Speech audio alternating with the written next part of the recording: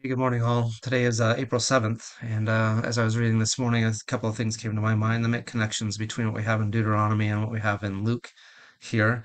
And throughout Deuteronomy, there's a lot of repetition. Um, Moses says things uh, several times, and I think it's because the people need to hear them over and over again, just like we do, need to hear the truth over and over again. But in verse uh, 15, 16, it says this, and the Lord said to Moses, You are going uh, to rest with your ancestors, and these people will soon prostitute themselves uh, to the foreign gods of the land they are entering.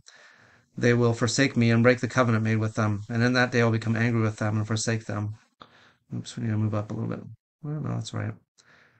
Uh, so he's talking about in the future, they're going to be successful, they're going to have that land flowing with milk and honey, and then then they're going to forget the God, their God. And says verse 20, when I have brought them into the land flowing with milk and honey, the land I promised on oath to their ancestors, and when they eat their fill and thrive, they will turn to other gods and worship them, rejecting me and breaking my covenant.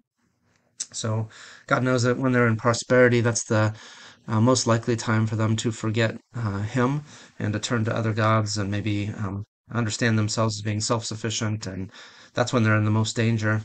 And Luke says it this way too. Um, he tells us a small parable hand, uh, here in uh, chapter 12, beginning in verse uh, 16. And he told them this parable The ground of a certain rich man yielded an abundant harvest. He thought to himself, What shall I do? I have no place to store my crops.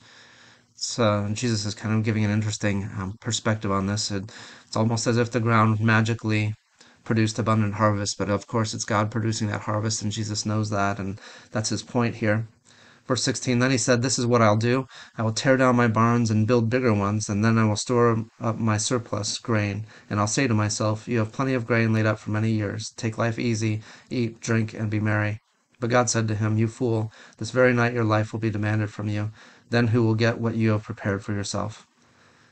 Um, and that is uh, the danger, of course, is that when we get uh, successful, when we are feeling secure, we have everything stored up for a while, that we'll forget the Lord our God and we will um, either become self reliant uh, or even fall into sinful idolatry, worshiping things rather than God Himself. And so just want to hold that up to us. I think that's a real danger for us that uh, of course, we want to be um, wise with our money. We want to invest well. We want to put things away for later, have some savings, but we also want to make sure that we don't forget where all that stuff came from and uh, forget to give glory to God and remember who we are dependent on, even if we think we have our barns all filled up.